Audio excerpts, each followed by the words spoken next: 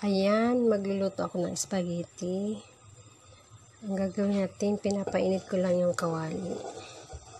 Ayan. Painitin muna natin yung kawali. Saka natin lagyan ng mantika. Ayan, nilagay ko na siya. Nilagay ko na yung mantika.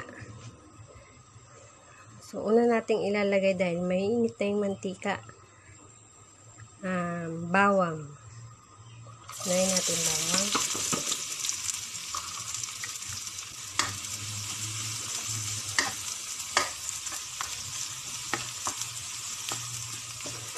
Ano natin yung bawang pa.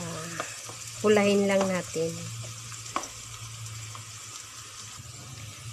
Ayan na yung bawang. Kapag ganyan ng brown na ang kulay niya para mabango siya. Pag ganyan. Ang ilalagay natin sunod ay sibuyas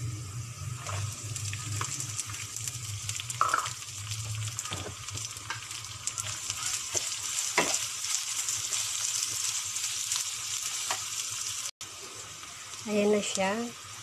Ang susunod natin ay itong kamatis.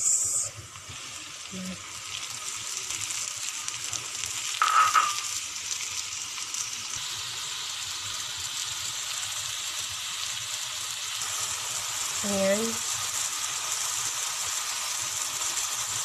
Ang susunod naman natin ang carrots.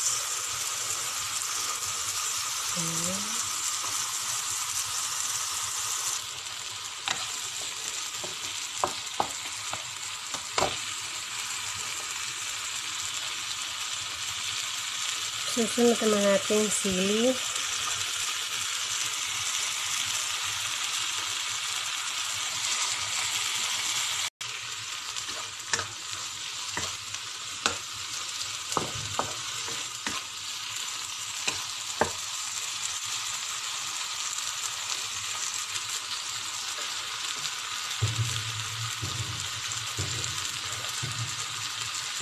Ito naman yung giniling na baboy.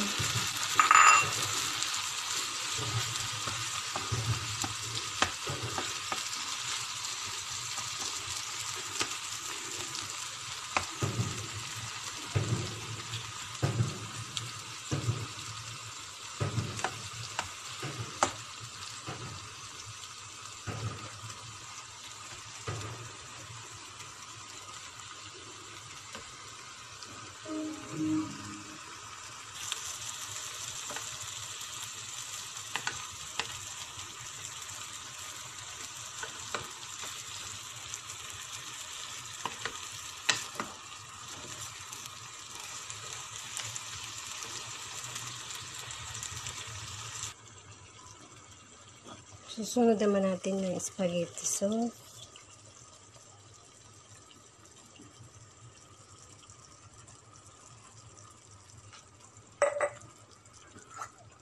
Tapos, uh, itong tomato paste.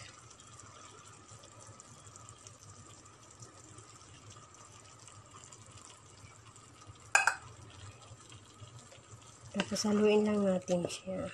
Guys, haluin nyo lang.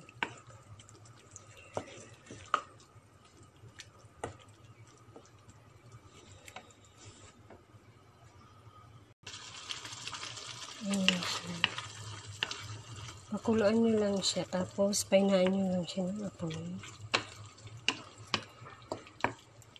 Ayan. Ayan. Pakuluin nyo siya. Tapos, yung isang basong tasang tubig. So, hinugasan ko siya. Hinugasan ko ito. Ayan. Nilagay ko siya.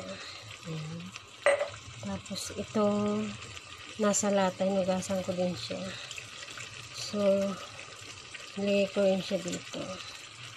Ayan.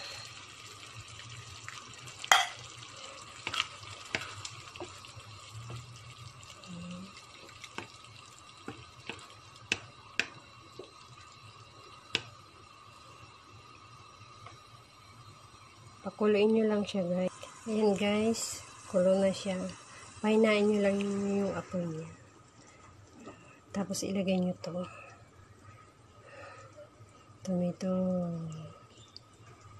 sauce ay gali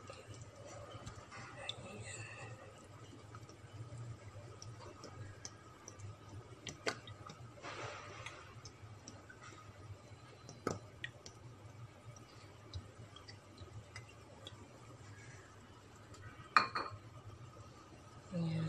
Ilagay nyo siya lahat. Isang bote. Ayan.